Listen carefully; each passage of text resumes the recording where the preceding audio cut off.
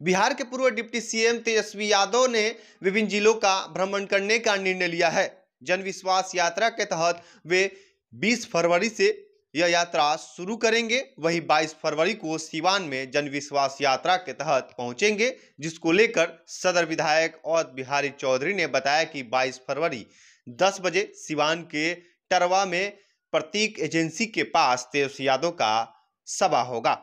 शहर से बाहर सभा को करने का कई कारणों का हवाला दिया कि मैट्रिक का एग्ज़ाम है, एग्ज़ाम चल रहा है, गांधी मैदान ऑलरेडी बुक है, जिसको देखते हुए टरवा में यह कार्यक्रम किया जाएगा।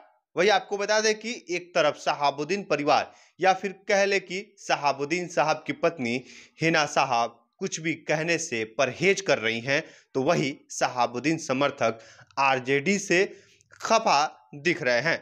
कि लालू परिवार, शहाबुद्दीन साहब के परिवार को नजरअंदाज कर रहा है। अभी हाल ही में राजद के कोटे से राज्यसभा संजय यादव और मनोज झा को राज्यसभा भेजा गया, जिससे माइनॉरिटी खाफा देखी कि अब माइनॉरिटी सिर्फ़ दर्शक बन चुकी है, सिर्फ़ दर्शक बन कर देखे और तालियाँ बजाए। राजद का ये रुख सही नहीं है और अब सिवान में तेजस्वी यादव का 22 फरवरी को सभा है तो इस सभा में किन मुद्दों पर बोलेंगे, क्या मुसलमानों को जवाब देंगे, इस दौरान तेजस्वी यादव, बीते महागठबंधन सरकार के सत्रह महीने के कामकाज का ब्यौरा भी देंगे, लेकिन क्या उन समर्थकों का जवाब दे पाएँगे, जो नाराज़ दिख रहे हैं? अब तो ये आने वाला 22 फरवरी को ही पता चल पाएगा।